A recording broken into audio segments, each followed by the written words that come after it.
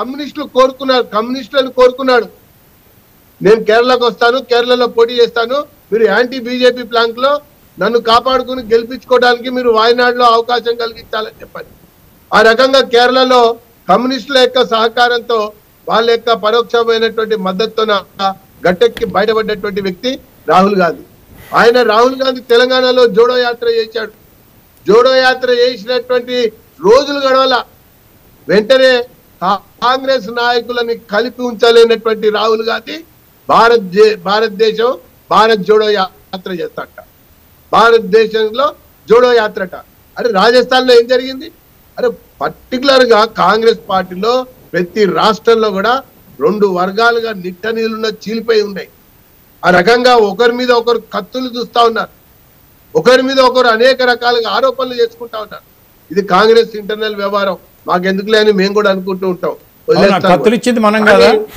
తెలంగాణకు సంబంధించిన విషయంలో కోవర్టు రాజకీయాలని చెప్పని ఈ వర్గం ఉంది ఆ వర్గం ఉంది. ఈ రెండు కోవర్టు రాజకీయాల గురించి మాట్లాడినాయి. కానీ అసలు సిసలైన పెద్ద కోవర్టు ఇటు తెలంగాణకి ఇటు తెలంగాణ కాంగ్రెస్కి టిఆర్ఎస్కి ఎవరంటే కాంగ్రెస్ అధిష్టానం. ఇది గుర్తుపెట్టుకోవాలి.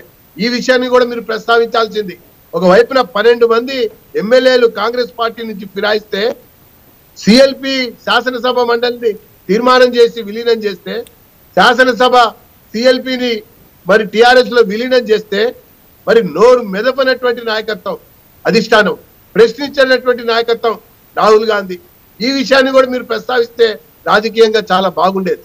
ఈరోజు కాంగ్రెస్ పార్టీ టోటల్గా ఈ రాష్ట్రంలో టిఆర్ఎస్కి అప్పగిచ్చింది కాంగ్రెస్లో గెలవాలి టిఆర్ఎస్లో కలవాలి అన్నటువంటి రీతిలో వ్యవహారం సాగుతున్నటువంటి విషయం మనందరం కూడా కాదు. ఓకే సార్ అది ఓకే. ఇప్పుడు సీనియర్. ఎప్పుడు తీసుకుంటున్నాం మనం? హాఫ్ అన్ అవర్ అయిపోయింది మీది. హాఫ్ అన్ అవర్ అయిపోయింది. లెట్ మీ కంప్లీట్ మళ్ళీ రాకేష్ గారు రెడీగా ఉన్నారు. ఈ రకంగా సాగింది. ఈ రకంగా జరిగింది. ఈ జరుగుతున్నటువంటి నేపథ్యంలో నిజంగా ప్రజల పక్షాన కేసీఆర్ వ్యతిరేకంగా టిఆర్ఎస్కి వ్యతిరేకంగా తెలంగాణ కోసం ఉన్నటువంటి కొంతమంది నాయకులు ఉన్నారు. నికార్సైనటువంటి కాంగ్రెస్ నాయకులు. వాళ్ళు ముందుగా అడుగేద్దామంటే అన్ని రకాల ముందరికాలకు బంధం ఉంది. నిలదీద్దాం ప్రశ్నిద్దామంటే శాసనసభలో అవకాశం లేనటువంటి ఒక పరిస్థితి. ఇంకో రకంగా ఇంకో రకంగా ప్రజా ఉద్యమం ఆ నియోజకవర్గంలో చేద్దాం పాదయాత్ర దిద్దామంటే అధిష్టానం అనుమతి కావాలి. అధిష్టానం అనుమతి ఉంటేనే మీరు చేయగలుగుతారు అన్నటువంటి ఒక ముందరకాలకు బంధం వేసేసరికి ఈ కాంగ్రెస్ ఇప్పటికే టిఆర్ఎస్కి తొత్తుగా మారింది. ఈ కాంగ్రెస్ ఇప్పటికే మరి టిఆర్ఎస్ కనుసన్నల్లో మెలుగుతా ఉంది.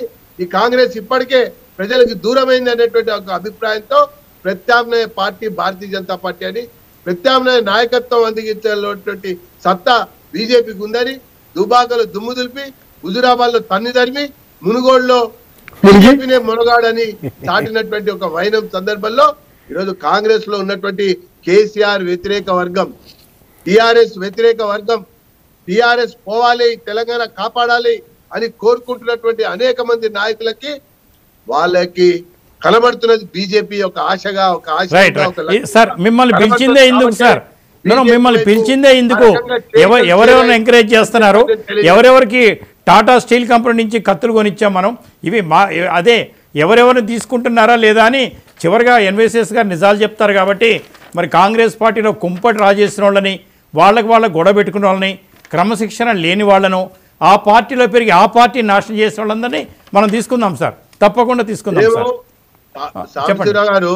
మా యొక్క పార్టీ రావాలంటే సిట్టింగ్ శాసనసభ్యుడు రాజేంద్ర గారిని రాజీనామా చేసి రమ్మన్నాం. సిట్టింగ్ ఎవరు లేరు? సీనియర్లు. సీనియర్లు సిట్టింగ్ ఎవరు లేరు? వార్డు మెంబర్లు కూడా గెలవలేరు.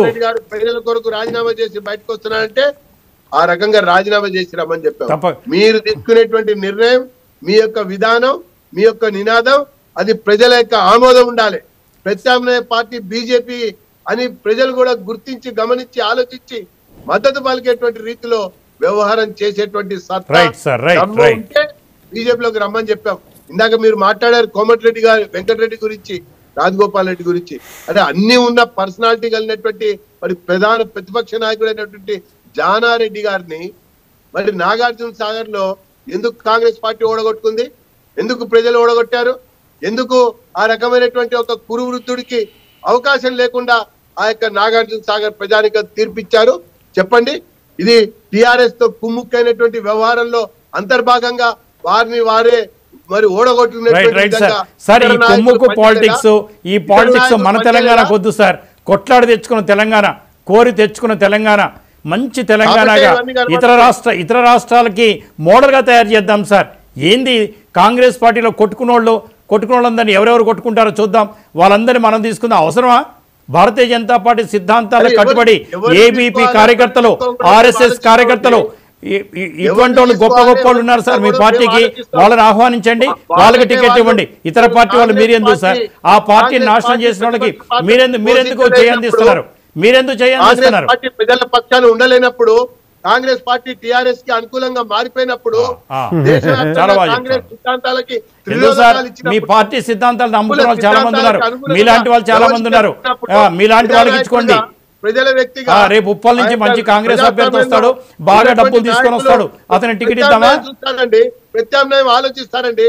ఆ. ఆ రకంగా ఏ పార్టీ అయితే ప్రజలు స్వీకరిస్తారు అని ఆలోచించి భావించి అట్లా బీజేపీలోకి రావడం జరుగుతా ఉంది. ఈరోజు ఈ రాష్ట్రంలో కాంగ్రెస్ పార్టీ అనేది ఖతమైపోయింది.